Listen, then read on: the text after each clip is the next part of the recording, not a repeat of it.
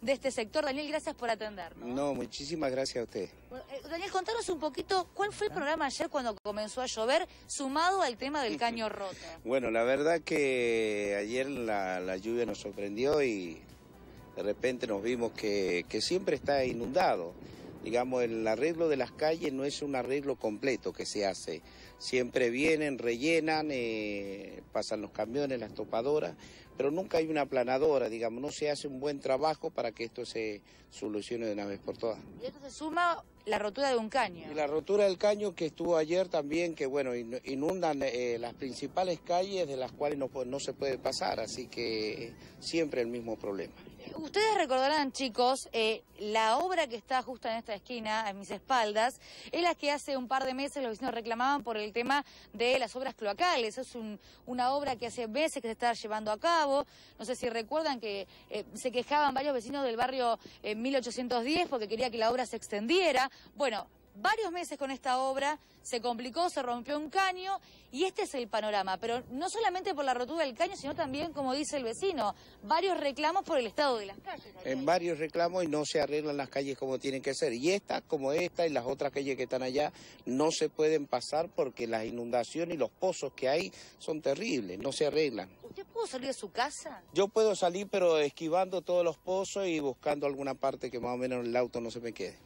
¿Y ha- se han quedado autos, vehículos? Se el día autos aquí en, en toda esta villa se, se quedan los autos porque, bueno, eh, al pasar la máquina toda esa parte queda suelta la tierra, así que no, no hay forma de que puedan salir de ahí. Y ayer, con el caño roto, la lluvia, ¿alguno se quedó, Daniel? Eh, en el día de ayer particularmente no, pero se han quedado camiones, los, los repartidores permanentemente tienen que venir la- las topadoras, pues lo sacar. Que es un problema siempre. Es- un problema siempre, no se arreglan las calles y una pena porque el barrio está tirando a arreglarse mejor, las plazas, todas las cosas, pero eh, el presidente o, o no sé, la directiva de acá no, no hacen un buen trabajo. Daniel, le agradezco muchísimo este testimonio. Muchísimas ¿eh? gracias a usted. Bueno, chicos, ustedes ven, esto es un río. Un río total, de punta a punta, le decíamos. Sí, Eh, el- ¿Está corriendo el agua o está estancada? Porque no, no alcanzo a distinguir si es por el viento que se mueve o porque corre.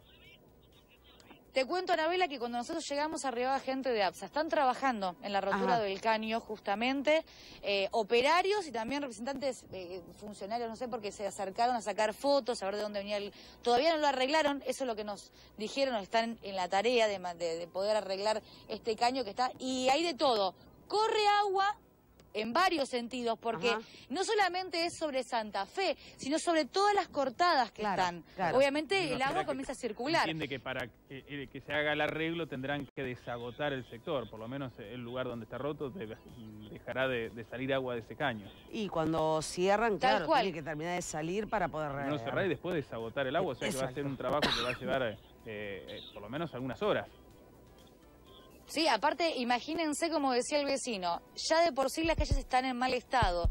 Hay varios pozos, eh, uno si quiere ingresar con un vehículo menor o con el mismo auto que veíamos recién, es bastante engañoso y puede caer en la trampa. Así Sí. que van a tener que desagotar absolutamente todo, eh, porque varios vecinos quedaron anegados ayer. El agua ingresaba prácticamente a las casas en algunos sectores. Eh, el vecino, por ejemplo, Daniel tiene, por ejemplo, eh, contrapiso aquí y una elevación, pero hay algunos que están prácticamente en el mismo en el mismo nivel y el agua circulaba y entraba a las, a las viviendas. Y imaginen la desesperación con la lluvia, caño roto y la casa totalmente inundada de, de los vecinos. ¿No, Daniel? Eh, lo, lo veías. vos. Sí, sí, hay muchas casas que se inundan por el tema de que no hay, no tiene salida. No hay forma de que, que tenga una salida, una cuneta, algo donde pueda caer el agua y siempre el mismo problema. Y ¿sí? hablábamos recién con los chicos, van a tener que desagotar todo esto para poder terminar de arreglar el. Sería muy bueno que se agotaran porque acá muchísima gente que pasa a trabajar eh, caminando en bicicleta y bueno, esto es una laguna.